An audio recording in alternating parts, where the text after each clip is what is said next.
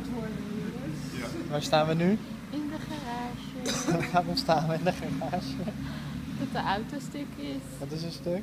De radiator. Wat is die? Stuk. Ja? Lek.